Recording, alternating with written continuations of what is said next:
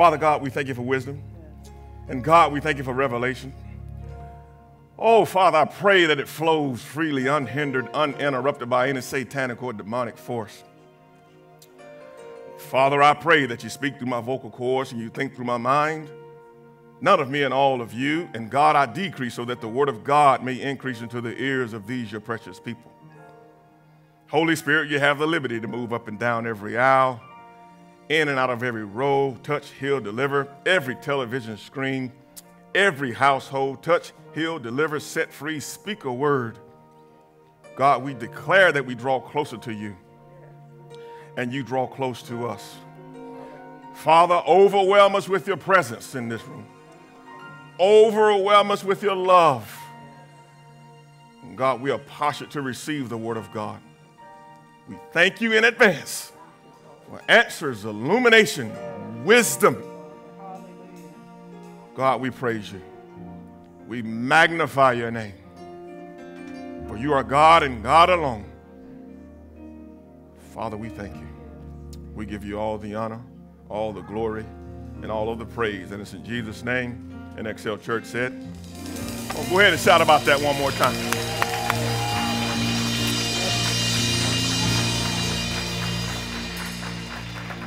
All right, you may be seated in the house of God. We're gonna we're gonna continue in this series, and uh, God has strategically, as He always does, um, you know, He keeps us ahead of the curve. Uh, he He loves us just that much. And right now, we're in a series on relationships, and we're delving into it uh, with the pivot foot being the relationship with Jesus and the Father, and uh, uh, uh the Father and Son, and and taking some traits out of that relationship that that is guaranteed to benefit us as we live our everyday lives. Um, you know, as human beings and as believers, uh, one thing about becoming a Christian, it doesn't, it doesn't exempt us from being human. That's why the word says he, the, the, the Lord was touched, he's touched by the feelings of our infirmities, which, which simply means when you navigate this world as a believer, you're going to be involved with people. And navigating human relationships, listen to me, it takes skill. It takes skill on the job, it takes skill in the family, it takes skill in the marriage, it takes skill as a parent. Let me pause real quick. Uh, I need to uh, clear up something I said last week. I want to make sure that, I, that, that, that it wasn't heard wrong. Last week I said, don't put your hands on nobody. I said, don't put your hands on nobody. I still mean that. You know, you don't get mad at your spouse and slap him in the face and, and, and, and get mad at your husband and, and pop him in his lip and all this kind of stuff. You, you, you just, just keep your hands off of, off of people. And then I followed up and said, except your wife and your kids. What I meant was, I'm going to touch my wife. You know, you want to touch your, your, your, your, your husband, but if those kids get out of line, you, you, you pop that little pull up and, you know, and, and, and, and go ahead and deal with it. So I want to just make sure that, that, that, that oh, no, no, I want to clear up. I did not say you can put your hands on your wife. I don't believe in that. Don't even call the church if it happens. Call JSO. JSO. Why? Because that's not right. You don't, you, we, we don't do that. My mama used to tell me, Derrick, keep your feet on the floor kicking on folks when they come in his house, your little four year old, hard headed, nappy headed tail. Keep your feet on the floor, Derrick. And I learned at an early age, you just don't put your hands on folks. You just don't, you just don't do that. So is there, is, are, are all minds and hearts clear on that?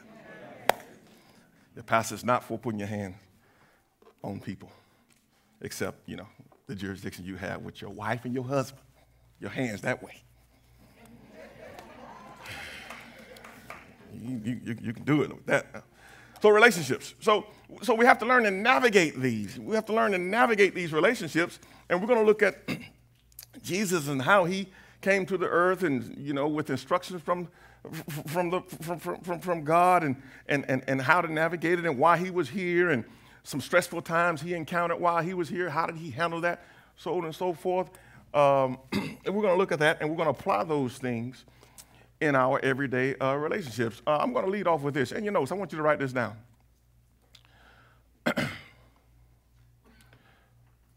you can't overcome what you won't confront.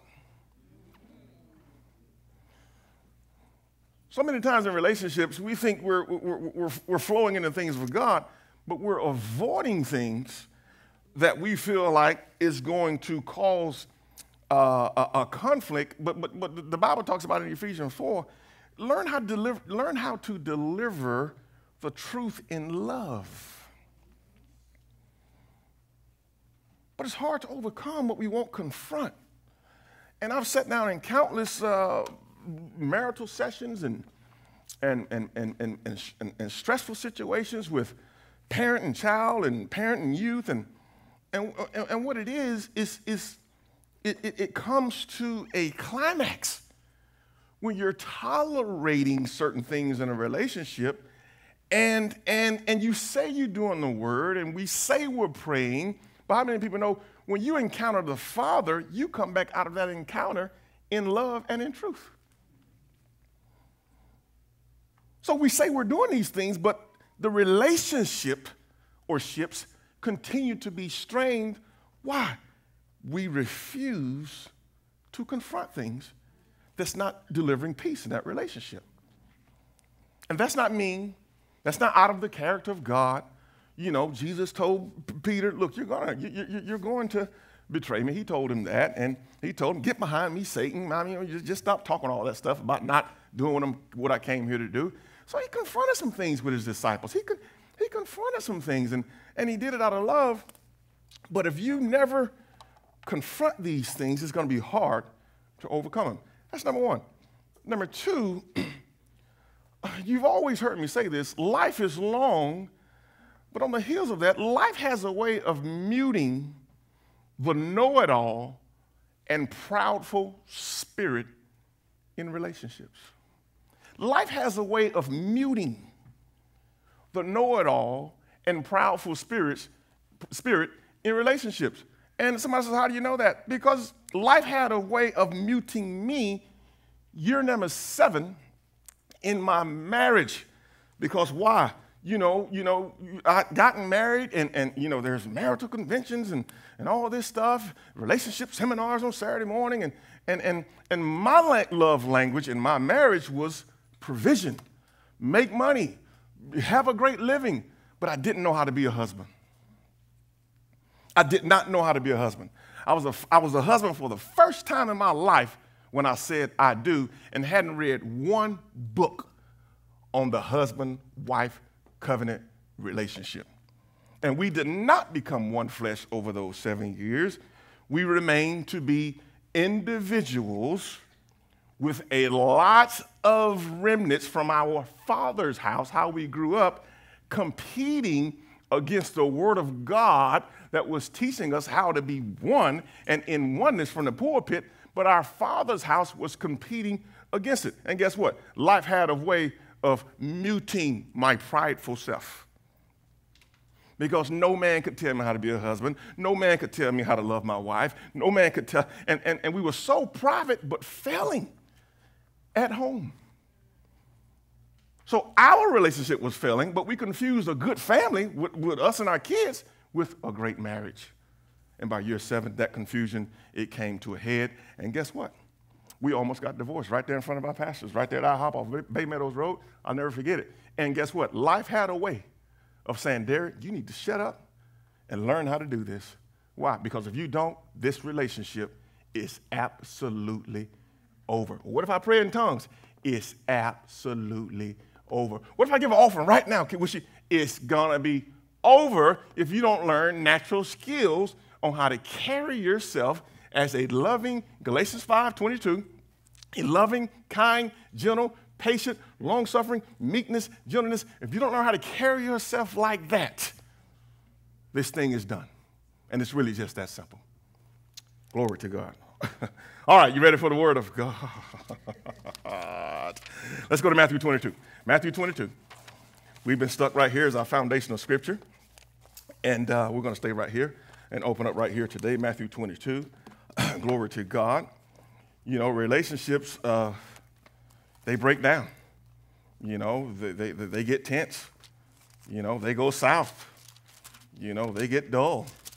You know, one thing in marriage, you don't want to build your relationship off of doing, you want to build your relationship off of being. Being with one another. You build your relationship off of doing things all the time. When the doing stops, or as you age and you can't do and you can't ride a roller coaster because your head is spinning, guess what? You got to learn how to be with one another and be in love with one another blissfully. And you do that by learning and mastering being and not allowing doing to be your foundation in that relationship. Matthew 22, a lawyer is basically challenging Jesus uh, on a relationship law. And it's, it's, it's we're going to see this. And uh, let's, just, let's just let the Word of God speak to us. Matthew uh, 22. Say amen when you're there. Hallelujah. Matthew 22, verse 37. Now, Jesus said unto him, said unto him who? The lawyer, who's kind of challenging Jesus on, you know, who is my neighbor? Jesus said unto him, You shall love the Lord thy God with all thy heart and with all thy soul and all thy mind. Next verse. This is the first and great commandment. Just hold right there, media. The first and great commandment is a relationship commandment. The word love is a relationship word. This is the first and great commandment. Next verse. and the second, watch this now, is like unto it, you shall love thy neighbor. Love thy neighbor, relationship, as you love yourself. Relationship, relationship, relationship. Somebody say relationship. Next verse on these two commandments, on this curtain rod, on this curtain rod right here, these two commandments, you, you, you hang all of the law on the uh, uh, uh, uh, law and the prophets on this on these two commandments. What is it? Love the Lord. Adore him. We just got through going through a series on the Lord prayer, on the Lord's prayer. It, it, it starts off it starts off letting us know we're not, we're, you can't approach God, you know, in, with the individualistic mindset, thinking He's going to hear your prayers and not hear your ex husband's prayers. What do you say? I'm, I'm not going to allow you to say, my Father, our Father, which art in heaven, hallowed be, hallowed be thy name. That word hallow means we greatly revere Him. He says, Love the Lord with all of your, all of your heart, all of your mind greatly revere him. He says that's the first one. He said the second one is love your love thy neighbor as you love yourself. How many people know it's hard to survive in relationships when you don't love yourself? Why? What happens? You place all of your insecurities, all of your suspicions over on the other party, not realizing you are self destructing every relationship you encounter, are people flawed? Yes. Are people imperfect? Yes. Will people rub you wrong? Yes. Do we disagree? Yes. But but your pivot foot is your insecurities in your relationship. Your insecurities of what? Yourself. You haven't learned how to love yourself. So we study all kind of relationship gurus and all kind of relationship, we read all kind of relationship books, and nobody never pays attention to, well, how do I love myself? How do I approach myself? Do I respect myself? Do I take care of myself? Do, my, do I see myself as significant? Do I see, do, do I see myself as someone who, who, who, who, who, who has an opinion that can be objective? Do I see myself as someone who's flawed and imperfect and can make a mistake? Well, if I see myself like that and I'm loving myself properly, guess what? When others do that to me, I'm not going to charge it to their heart, I'm going to charge it to their head. I, rem- I remember being in a relationship, and, and, and every time I, I was over the department, and every time I made a correction, the guy would come to me and say, Well, I, I, didn't, I, I just want you to know I didn't. I, I, didn't mean it like that. I, didn't mean it like this. I didn't mean it like that, so on and so forth. I, I don't want you to think. And I finally looked at him I told him, I said, if this relationship is going to grow and thrive, here's what I want you to start doing. Stop thinking for me in this relationship. If I had a problem, I would say something to you. If I thought you was terrible at what you do, I would try to help you get better. But you have all these self-imposing thoughts on yourself, and you're charging it to the entire relationship, listen, stop thinking for me in our relationship. I said it's, it's nerve wracking, it is stressful.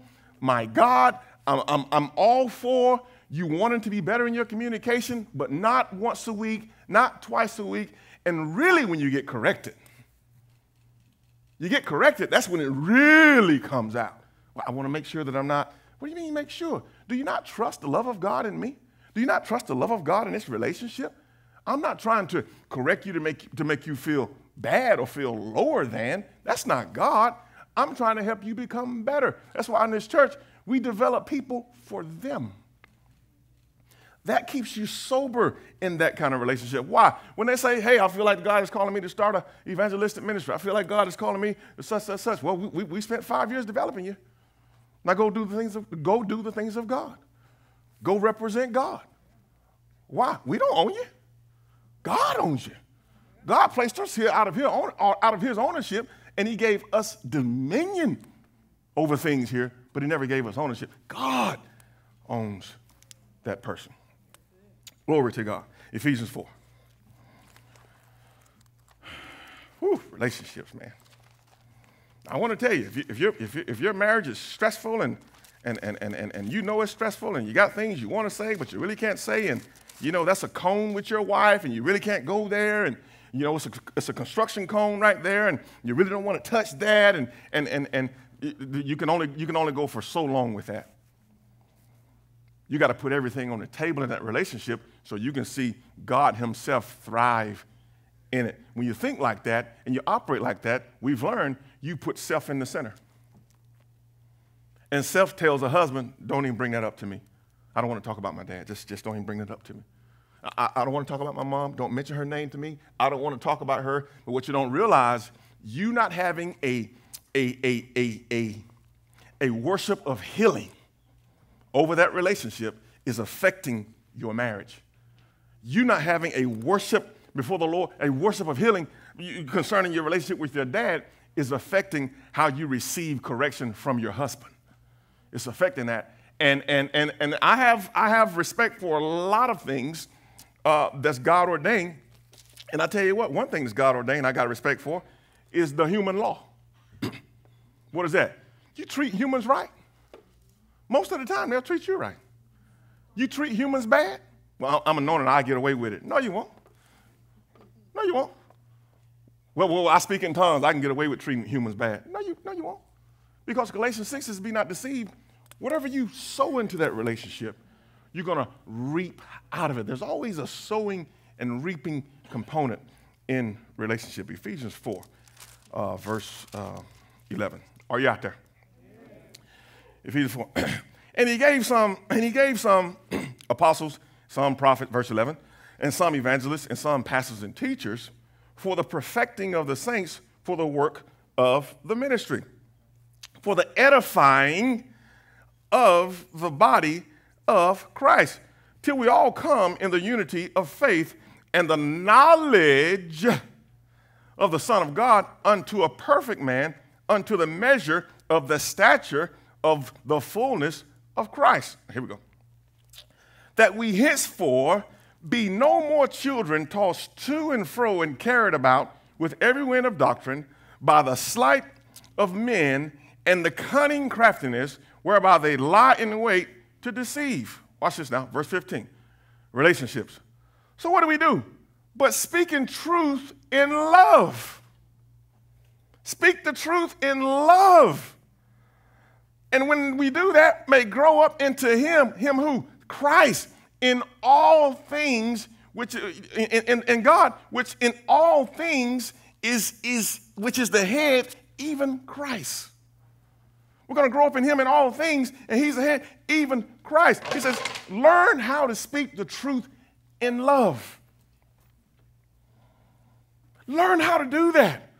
Let me give you a simple relationship skill that can that can remove your pride when you're wrong and you think you're right, but you're wrong, but you think you're right, but you're wrong. Let me give you a simple relationship skill. I can see how I could have missed that. I can see where I could have went wrong. I can see how you, you could have heard that like that. What is that? It's just, man, I, I, you know, I, I want to speak the truth in love. You know, we go to our children. Listen, always lead with some kind of edification. And, and sometimes emotions get the best of you, and it's like I've told you 10 times not to leave these dishes in the sink before you go to bed. Get up, get in here, and wash the dishes. Dad, you just preached on pre, uh, uh, speaking the truth in love. I, I, look, I love you. I ain't said nothing mean to you. Right now, this is discipline time. Just, just, just do what Dad is asking you to do. But then there's times when, when, when, when it's like, okay, you're not getting it. You're not getting it. I'm not going to go off. I'm going to come to you, and I'm really going to identify that you have a problem with your discipline in your life. You fall short on diligence about things in your life. And I come to you come to the daughter, of the son, and say, listen, me and mom love you. I hope you know that.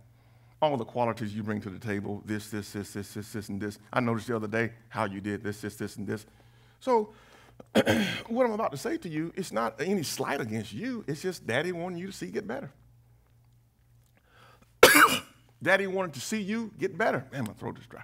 Let me hit this, um, let me hit this coffee. I smoked a cigarette before I came out here.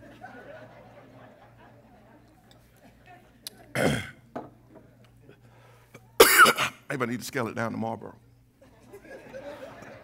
what do you think, Boo? Newport's too strong.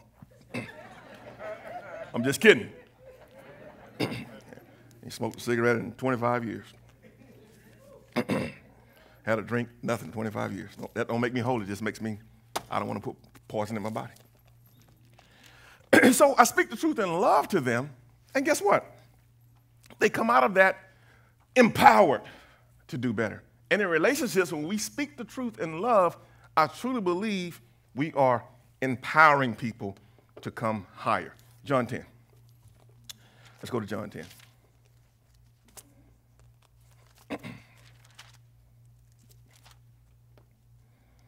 Ever had that little scratchy, scratchy in your throat? That's what I got. Mm, mm, mm. Ah. Woo.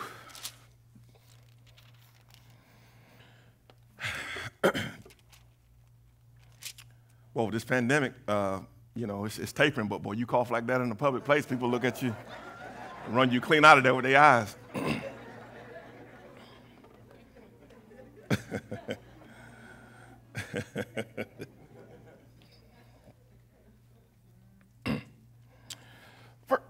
Verse 10, you know, you know, people are coming trying to sow division into to, to, to, to to Jesus and the Father, and it's like, it's not going to happen. He's just like, it's not going to happen. And I'm telling you, in relationships, when you detect any kind of division trying to be sown into it, you just got to be like Jesus, it's not going to happen. Me and my wife, we're one. Me and my husband is one. You, sometimes you got to tell your parents that, look, me and my wife, we're one now. Sure, sure, sure, we got a little thing going on here, but just, just pump the brakes now. We're, we're one.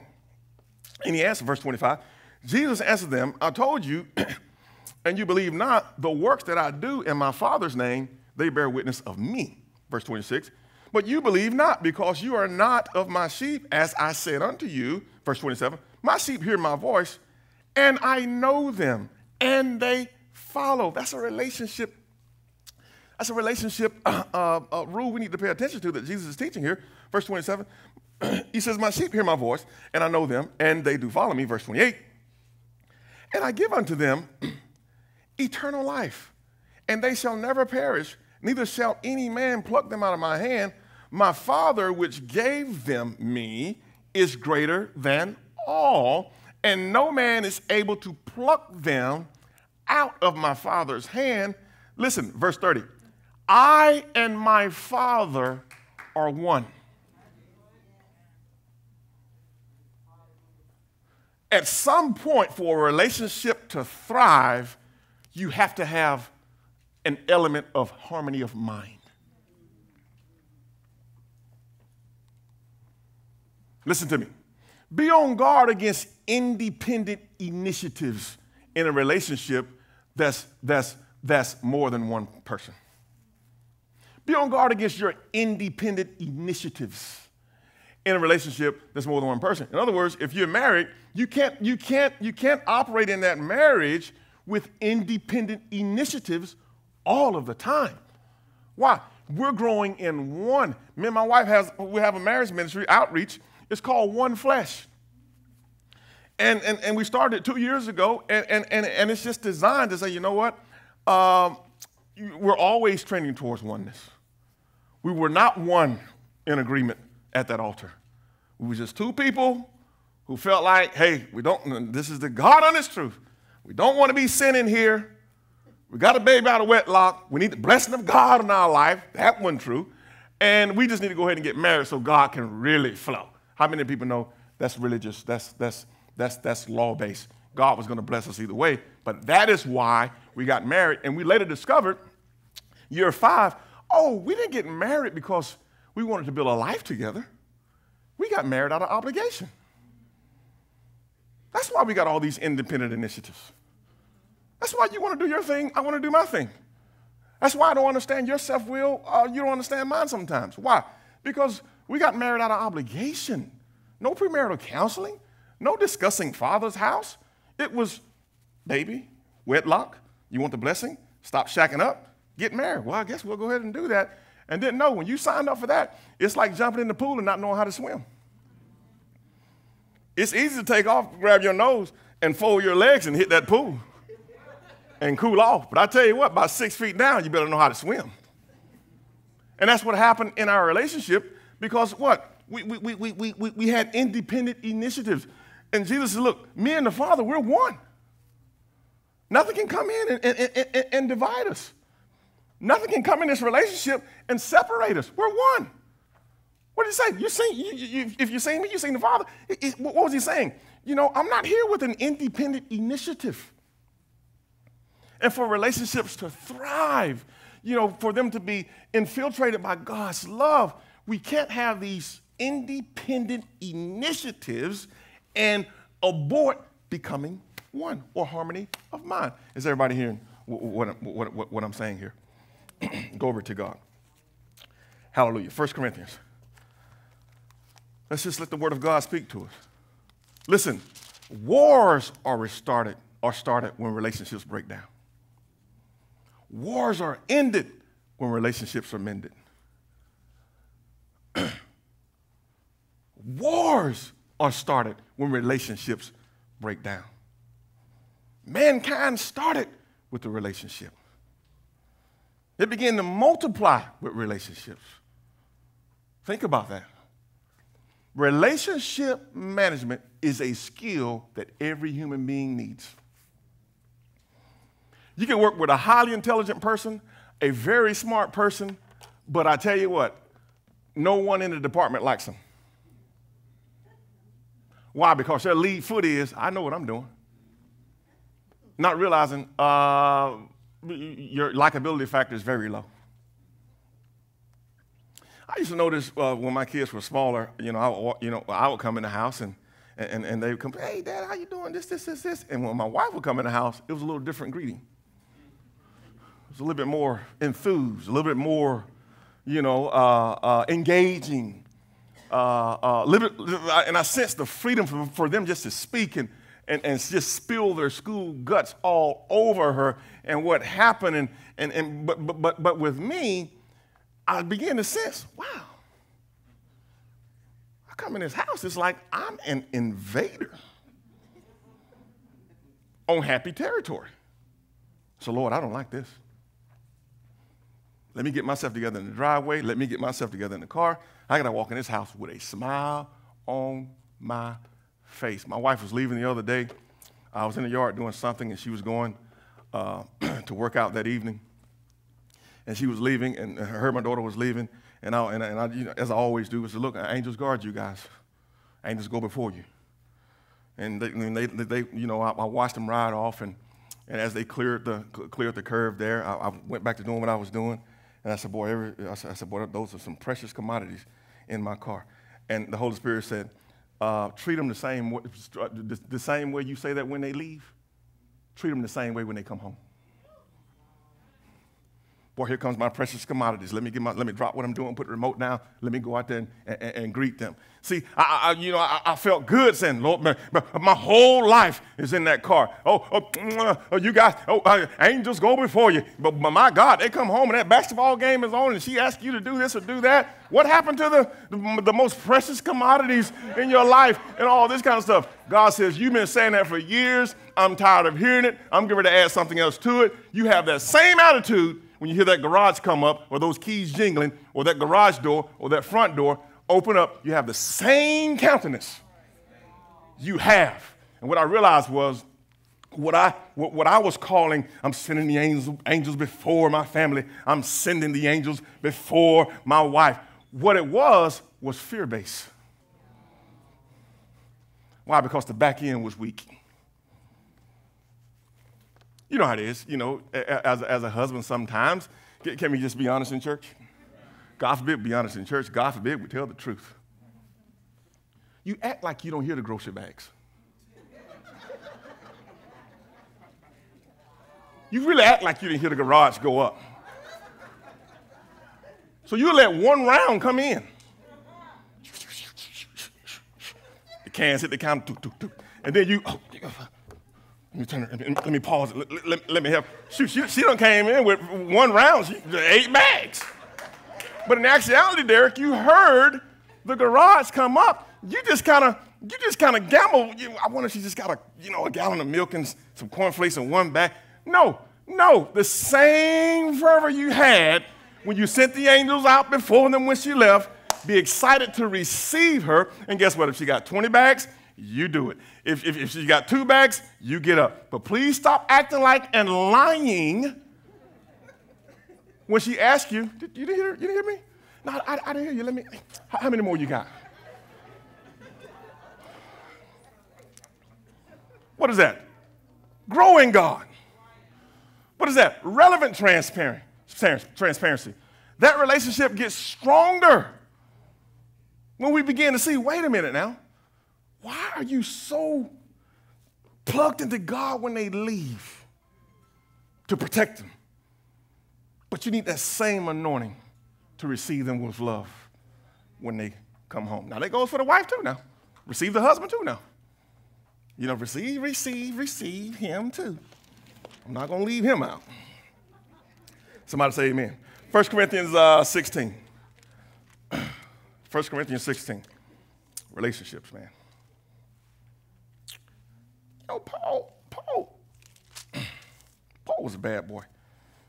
And Paul was, he'd call you out, he, he'd praise you, he'd point you to God. He, he, he was just a bad boy when it came to relationships. But 1 Corinthians, we're going to pull out of this. Watch this now. 1 Corinthians chapter 16, verse 14. Let all things, is that what it says? No. Let all your things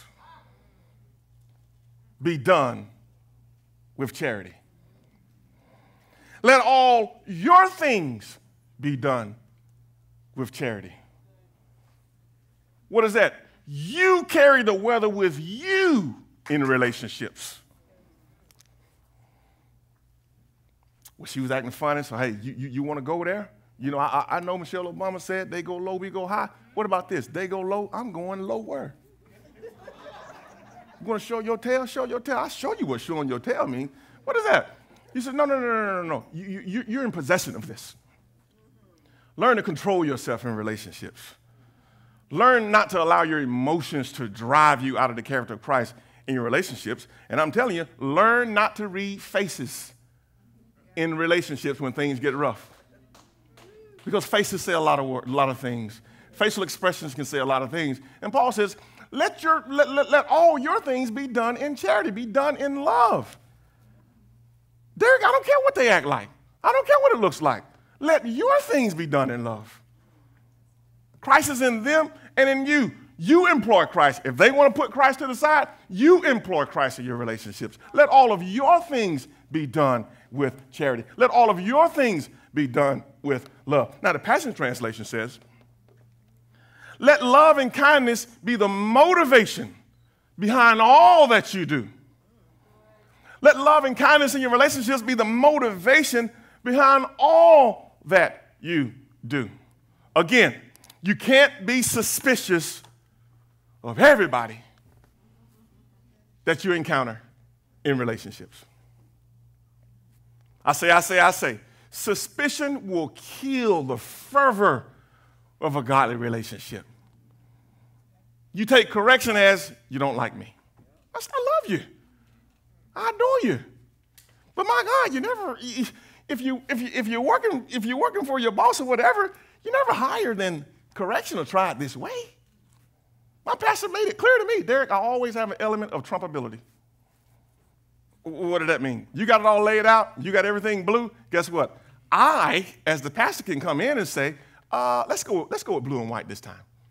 Please don't take it as you're not doing your job. Just know that I have an element of Trumpability. Somebody says, what does that mean? Well, in the relationships, it, it, it, me and my wife have mutual elements of Trumpability. There are certain things she can come in and say, nah, we're, we're not going to do it like, we need to do it like this, uh, boot. And I can come in and say, nah, we need to do it like this. But you know, you know what I mean. You, you know, company comes over and you have company in your house, this, that, and the other, and you got relatives, in, you know, in from town and, and, and so on and so forth, and you got the thermostat uh, uh, set on, on 76 there, and you kind of like to keep it there to keep it cool in the house, and this one is hot, this one is cold. But your distant cousin from Texas has decided to go upstairs, change that thermostat. It's warming up in here. My wife's cold, 80 degrees. Well, my wife is burning up. and downstairs, going to go to that thermostat and change that one. Then the big dog walk in. uh, why is it so hot in here? Come on, cuz, man, man, look, the way we do it out west is, that's out west. In here, if I have authority over this household, uh, you want to throw us something? I, I, we have several throws in, in, the trunk here for your wife, something, you know, to, to warm her up. But, but when I came in, there's an element of trumpability now in, in, in the relationship. Now, I'm not saying undermine your dad or undermine your mom, although mothers, a lot of times you can get the spirit of lying on you just to protect your kids. I know it's quiet in here, but you can get the spirit of lying on you just to protect your kids from the wrath. And that's not good because your kids are picking up on it. Hey, what, what, time, did they, what time did they start their homework? Oh, they've been doing it ever since 5 o'clock. Look, I told you, Daddy, you started at 5. He asked you, you started at 5. You hear, you hear what I'm trying to tell you? It's like, yeah, yeah, yeah, yeah, I hear it. And boy, you feel good about that. The mother hen is, is taking care of her children. But what are you doing? You're sowing division now. You're, you're undermining his authority now. So be on guard against that. I told you, Christians tell subtle lies too. All right, here we go. Fault number one, I want to pull this out and, uh, and give it to you. you've, you've heard me allude to this uh, earlier in the teaching. A few weeks ago, obedience does not lead to love, but love does lead to obedience.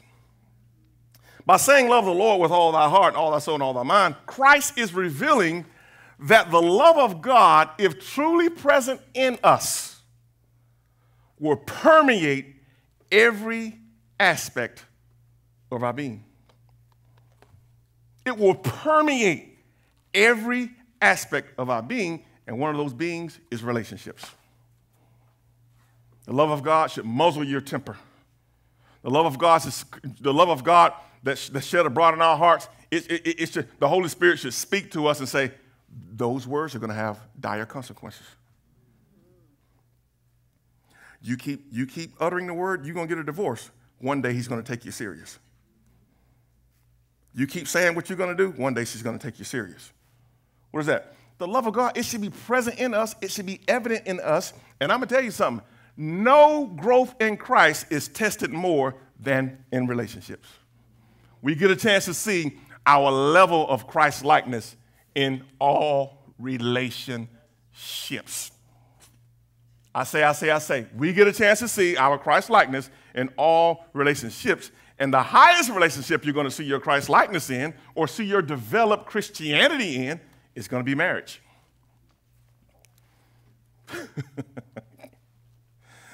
it's going to be marriage. Why? Because it will be blissful the first 60, 90 days.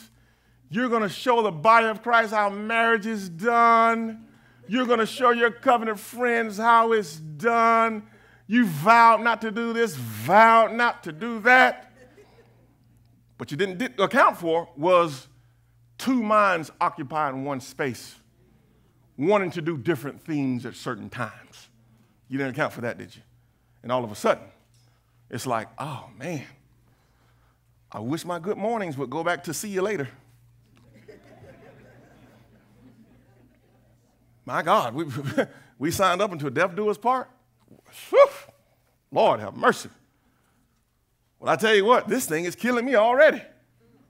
Listen, it should grow us up in that relationship. We get closer to God when relationship disagreements come along. We get closer to God when relationships, uh, uh, uh, uh, when the enemy tries to, to insert division into a relationship. We go to God. We remove self from the center. We put God in the center, and that relationship will continue to strive.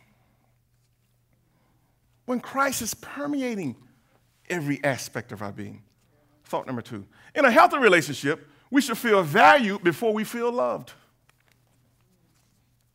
Oh, I'm so in love. Oh, no, I'm so valued. Because you can love something and not value it, guess what? You, you throw it on the floor.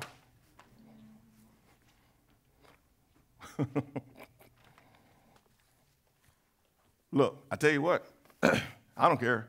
I don't care how heated it gets with me and my wife, I ain't throwing away no $6,000 ring in no river.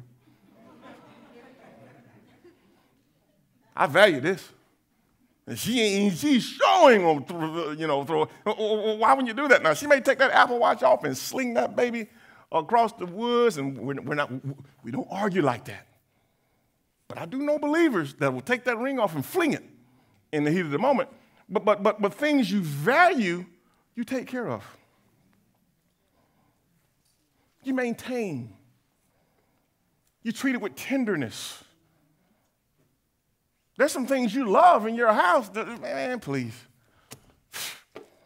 You love your dishes. You love the certain pot you got, but man, you still scorch it up when you try to stir fry something. But I tell you what, that china sitting over in that cabinet, you value that. Why? It came from five generations, and you value that. So in relationships, you want to sense that you're valued before you feel like you're in love. Because, see, you, you, you, when you feel like you're in love before you feel like you're valued, everything gets cloudy.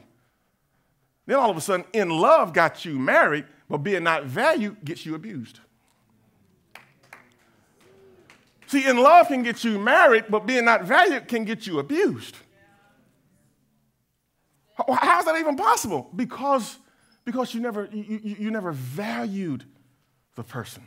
You didn't value their heart.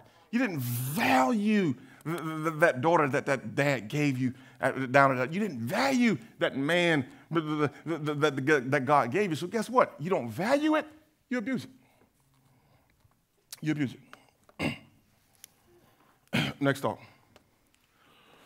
Good relationships requires a skillful navigation. Watch this now. Without labeling your feelings on your partner or friend when difficult moments, feelings, conversations, and thoughts inevitably arise.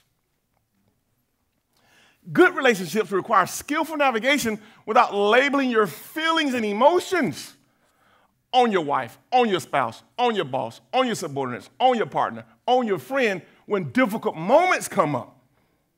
It's a moment the person is still nice. It's a moment of tension. The person is still uh, uh, uh Christ like. But guess what? You label them with your feelings, and you take that, and now you say, This person is like this. No, you label that person when you was in your feelings. And when you got in your feelings, you said that person is mean. That person's not mean. How do you label that person with that? Good relationships require skillful navigation without labeling your feelings on the person. How many people have done that before? I have. Rest of you will just cast line demons at you right here at the end of the service. You've gotten mad, you've gotten ticked off, and you said, man, this person is just this. It's like, wait a minute, it's just a moment now. How did you take the moment and label the person? I'm just saying this church is it. Whoa, whoa, whoa, whoa, whoa, whoa, whoa, whoa, whoa. Whoa, whoa, whoa. Okay, the email didn't come through. Oh, oh, I understand that, but how do you take that and label the church? You take your feelings and you label things and entities and people in the relationship, and guess what? You find yourself lonely. You find yourself lonely. Why? Because nobody is good enough to uphold the standards that you abort yourself. Next on. Be open and accepting to accepting of the good and the flaws. In relationships, be open and accepting to the good and the flaws because you surely possess both of these as well. I'm telling you, relationships are smooth. You know, you said, look, what time does the ship leave in Port Canaveral? Well, I mean, hey, I mean, okay, we got a sedan, they got a Suburban, they got a Texas Cadillac. They're going to pick us up. We're going to put our luggage in the thing, so on and so forth. Now, if you, if you sit there and wait on them and not realize you were late once before, you was late once before picking somebody at the uh, airport. But if you don't realize that about yourself, you're not going to accept them running behind. Next time, see, this is why I always drive my own car because people, I, I, I mean, they're just late all the time. They're not late all the time. You got to be open to accepting the good and the flaws because you, you have a revelation that you surely possess both of these as well. And when you can see your faults, remember, love thyself. When you can see your faults, the faults of others become common and you don't label the person. You pray for them, you grace them. And if you can ever foresee yourself needing grace and mercy in a relationship, extend it every chance you get.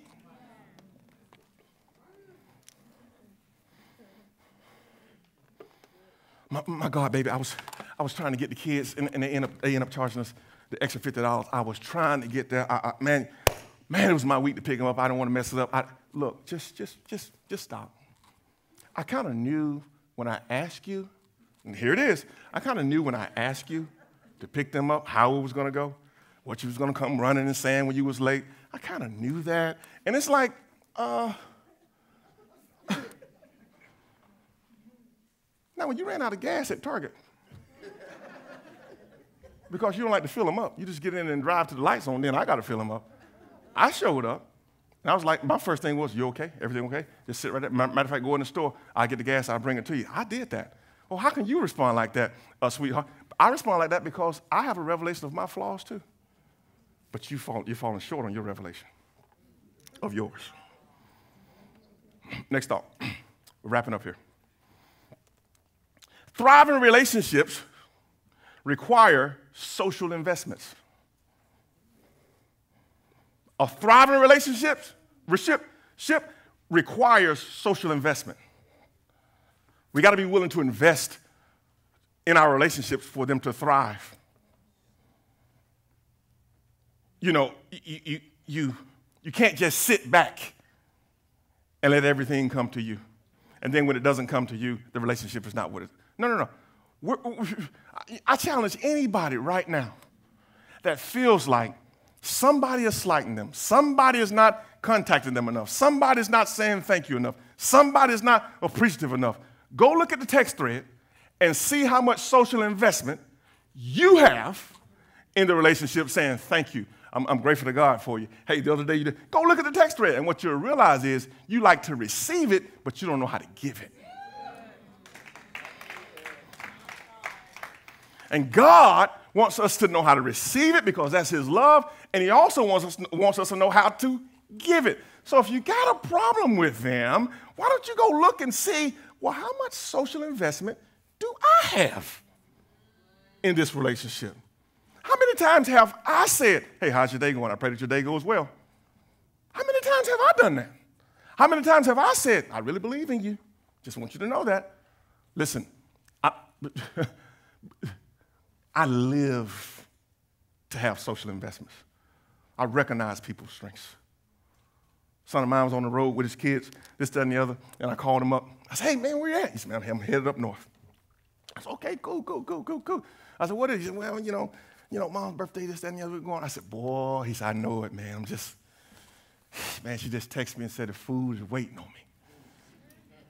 I said, brother, you blessed. I said, you blessed. He said, yeah, I talk to her all the time. You know, she called me and she talked to me. This is dual social investment. I said, brother, when you get there, I'm just going to kick up and just bask in the love. And it's just something about showing up and that mama is just right there waiting, a hand and foot. Oh, what do you want, sweetheart? You want something to eat? You want something to drink? Okay, no, no, no, we, we got it. Man, those are social investments. And let me tell you something people don't forget them because he was looking forward to that. So we got to look at our relationships and say, how much investment do we make in them? If it's stale, if it's awkward, if it's funny, if it used to be this and it's not this, go look and see how much social investment you have in the relationship. Next thought. A person's heart, a person's heart houses all of their emotional capital. That's why the Bible says, guard your heart with all diligence. See, we got to know this about relationships. A person's heart houses all of their emotional capital. They're always owed an ROI, return on investment. When any of that capital is released into your life. She said, I do. Guess what? She's owed ROI, return on that investment. He said, I do. Guess what? Return on investment. They're always owed that. Why? Because as they release this emotional capital into relationships, know this it shouldn't be one way thank yous on the text thread all the time. it, it, just shouldn't be. When I first started uh, Excel Church, year one, a guy, you know, person says, Man, I just, you know, I just, I just feel like this, I just feel like that. and I said, Man, this doggone relationship is stressing me out. And why is it doing that? Because you, you, you keep charging me with, well, I feel like you said this, I feel like you meant this, I feel like. And I'm like, brother, do you understand what I'm facing?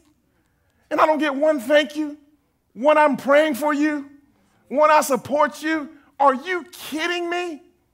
What did he want? He wanted a social investment coming his way, but not sending none my way. Somebody said, What did you do? I backed out of the room like Noah's sons. I said, man, this, this relationship is high maintenance.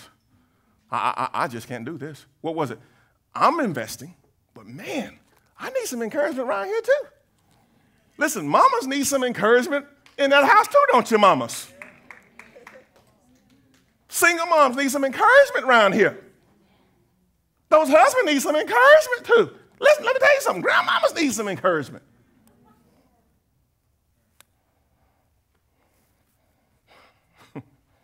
I see some kids getting smart with their grandmama. I, I, I never got away with that.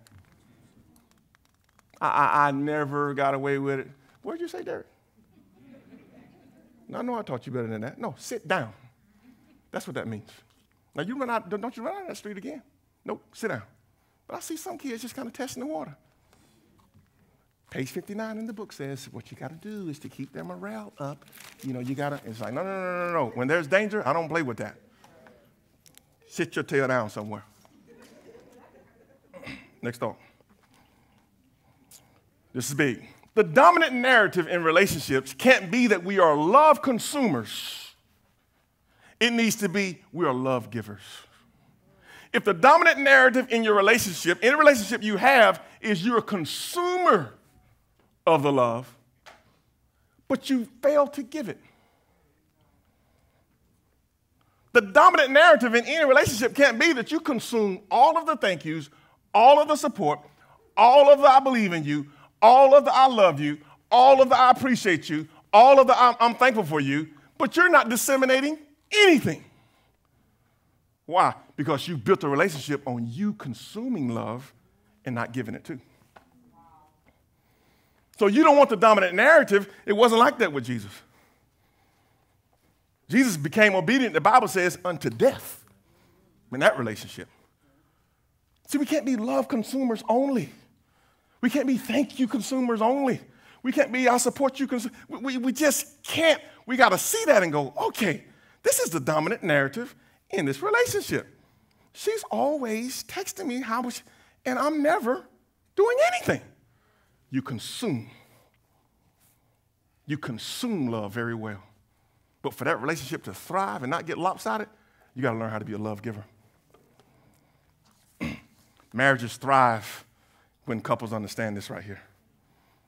When they, when they understand this right here, it, they thrive. Why? Because when you understand this law right here, you're not high maintenance. oh my God, I just feel so left out. I feel so, I, I, I don't know if my season, I just, I, I, just don't know if, uh, uh, uh Derrick, Derrick uh, uh, Z, I just don't know if you're thankful for me. I just don't know if you're grateful for me. What, what's wrong with you? Oh, oh, oh, oh, oh, oh, oh. You didn't consume none this week. I ain't seen you none, huh? I didn't see you none. I didn't see you enough this week, huh? Because you're used to consuming. That's why you feel out of place. Because your dominant narrative is you're consuming love, but you're not giving it. You got to reciprocate it too. It's not that your season's up. It's not that you, you, you, you, you know, uh, uh, uh, dad doesn't love you. It's not that uh, uh, your boss doesn't love you. It's not that your boss doesn't value you. It's just, guess what? When your consumption stops, you get a revelation of, well, I'm not giving it.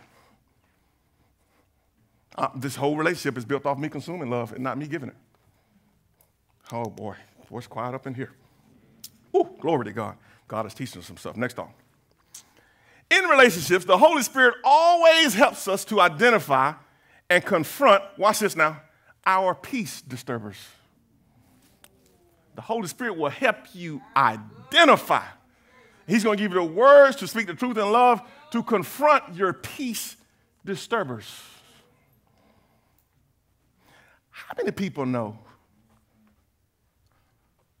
that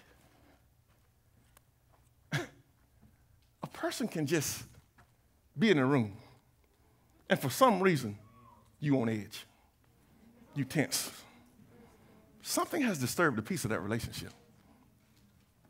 But the Holy Spirit will give you revelation, will speak to you, and help you, help us identify why is my peace so disturbed right here?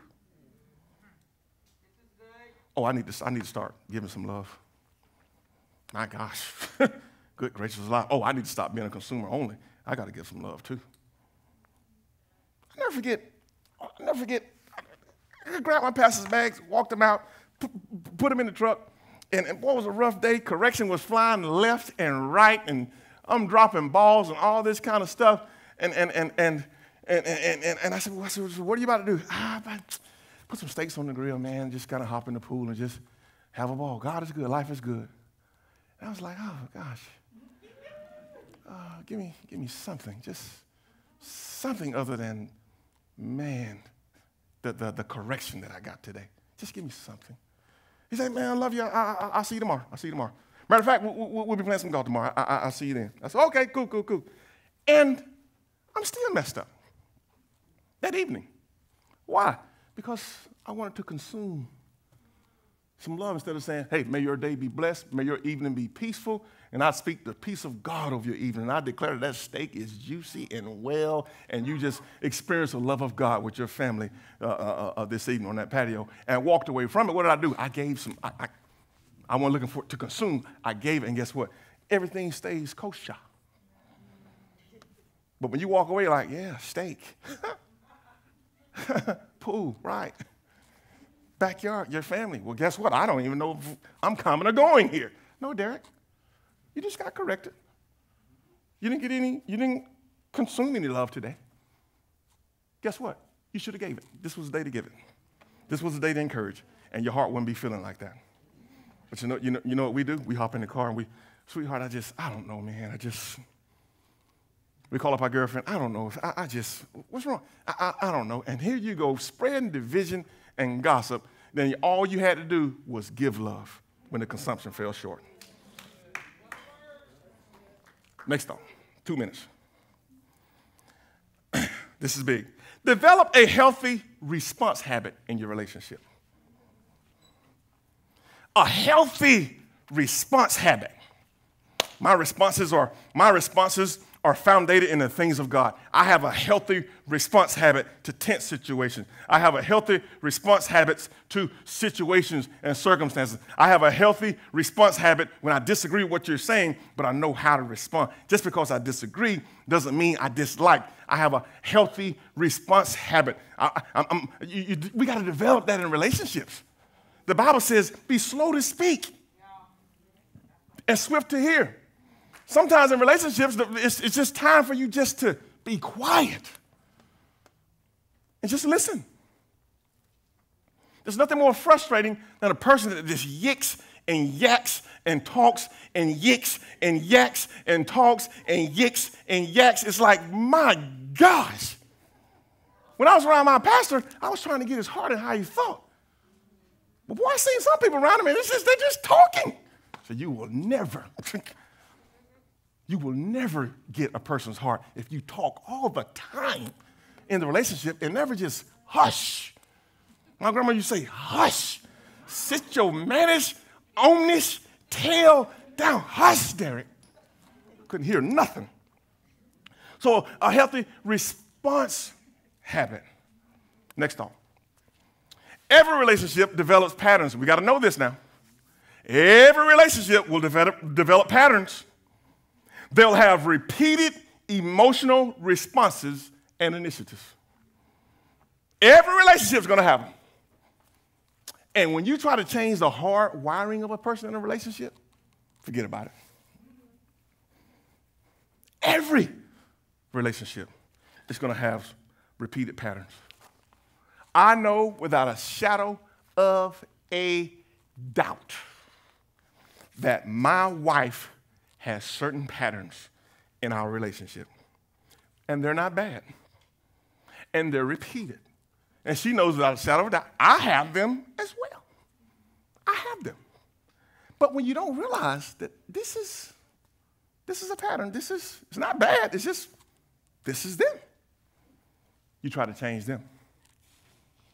You try to change their heart wiring. And it's like, now, Derrick, you've lost your cell phone. You pat around for a minute, you'll say, oh, I might, I might have left it. Uh, let's see, no, I think I might have left it, okay, maybe on the counter. No, I think it's in the garage. But if she lose her cell phone, oh my God, what, what, what is it? My phone, my phone, my phone, my phone, my phone, my phone. Uh, uh, we just left talking. You, you, think it's, you think, I don't know if it's on the counter. I don't know if it's on the counter. Check your purse. Well, let, me, let me check it. Let me check. It. Oh, I don't hear it. I don't hear it. Oh my God. You know, that's how she responds when that phone goes missing. You know that. You know that pattern. So don't, don't, don't, don't, don't freak out because it's there. Wife says, Did you pay the bill? Uh huh. Don't lie to me now. Did you, did you pay the bill? Yeah. I paid it.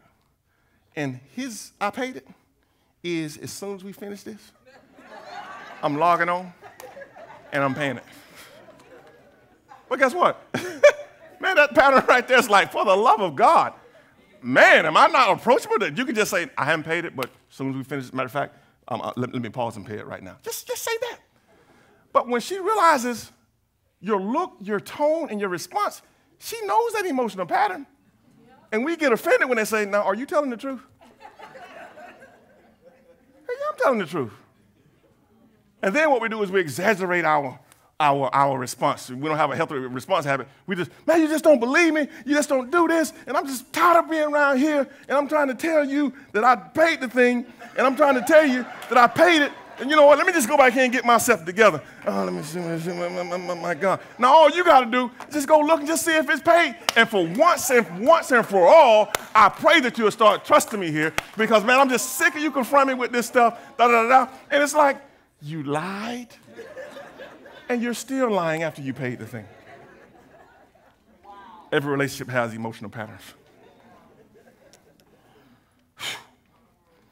Oh boy, I gotta finish these three. Healthy relationships practice relationship flexibility. Relationship flexibility. Hey, my parents are coming in town, so on and so forth. Now, I know the guest room's got a, a queen bed. We got the, the, California king. I just would just go buy them sheets and put them, put them in the master bedroom. uh, but, the, but, the, but uh, the guest bedroom ain't got no TV in it, and the playoffs are on. Well, sweetheart, what you can do is you can just go upstairs and just watch the, watch the game. But my parents, you know, I, I don't want them traveling upstairs with the steps, and they can, man, I tell you, why is it that I take the back seat? I thought the Bible says when you left your parents, you cling to me. So I, I don't have no priority in this relationship. My gosh, man, get some flexibility. Get some flexibility in the relationship. So, so, guys, you know, you're hanging out with friends. Guys, we're going out tonight. Yeah, we're going to go bowling. And we reserve four lanes to be four people in each lane, so on and so forth. And, and you get there, and one person from the church is just kind of, just a knot on a log, just muck in the mire. Hey, you're not going to join us for, nah, just, nah, I'm good. I'm all about Topgolf, just so you know. I'm not a good bowler, so I don't know who booked this. Well, just get in and have fun. Nah, I just, mm, uh, uh, I'm good. I'm good. I'll just sit back. You guys need some water something, I'll do that, and I'll get it for you. Refreshments, I can run. I can be, I can be the runner. It's like, where's your flexibility at? Why, you're not going to always get your way. You're going to find yourself as a believer being left out. Why? Because you have no relationship flexibility. You got to be flexible. People have other agendas when they go out. Flexible.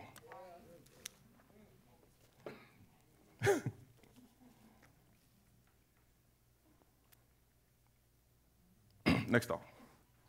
Relationship anger and offense. Watch this. Relationship anger and offense are unsustainable. You need to know this about your relationships. Relationship anger and offense are unsustainable. Listen, they will destroy us from the inside out. You can't sustain offense. You cannot sustain that kind of anger. It will destroy you from the inside out. And avoiding the conflict is destroying us too. Why? Because we tell our kids to walk in love, but our kids know when you're acting funny towards your parents. Our kids know when you're acting funny towards your, towards your spouse. Our kids know when you're acting funny towards your, just roast the pastor at dinner. Just roast them. Kids know that. Listen, you're offended and you're angry. It's not sustainable. That's why the Bible says, do not let the sun go down on your wrath. That's another level of disagreement. It's wrath. You're angry and you can't sustain that. It kills us from the inside out and it'll kill that relationship. Last thought. In order to have thriving, authentic relationships, we have to respect the principle, and this is where we're going to pick up next week. We have to respect the principle of consequences. And I didn't have that respect the first seven years of my marriage. But I tell you what, you wake up real quick when you hear certain words in a relationship. I know you do in marriage. I know I did. Hey, I'm going to be happy, just not with you. Huh? Yeah, your, your, your, your meanness, your suspicion, your all this, so on and so forth. You're blaming it on your daddy, blaming it on your mama, all this kind of stuff. It's come to a head. It has consequences. Guess what? And God still loves you. I still love you. Kids are going to still love you. Make sure you are good in their eyes. But I cannot see us going any further with this thing being like that. What happened? You have, there's consequences to what? Your actions, our words, our actions, our words. there's consequences. You are either sowing or reaping. And when you sow those kind of things that's contrary to what God calls the truth, speaking the truth in love, there's consequences. So when I approach my relationships, I approach them knowing now there's consequences to what you're about to say here. Be careful. Be careful. I know, I know you may be, but be careful now. Be careful now. I know she might have, be careful now. Why? Because in order to have a thriving, authentic relationship, we have to respect the principle of consequences and not just think, you'll always be here. I'm to talk to you any kind of way I want to. Don't do that. He'd never leave his kids. I tell you what, don't respect the principle of consequences, and he's going to trust those kids with God, and he's going to go on and be happy. I could never see him. Okay, you have to respect the principle of consequences in relationships. Were you blessed by the word of God?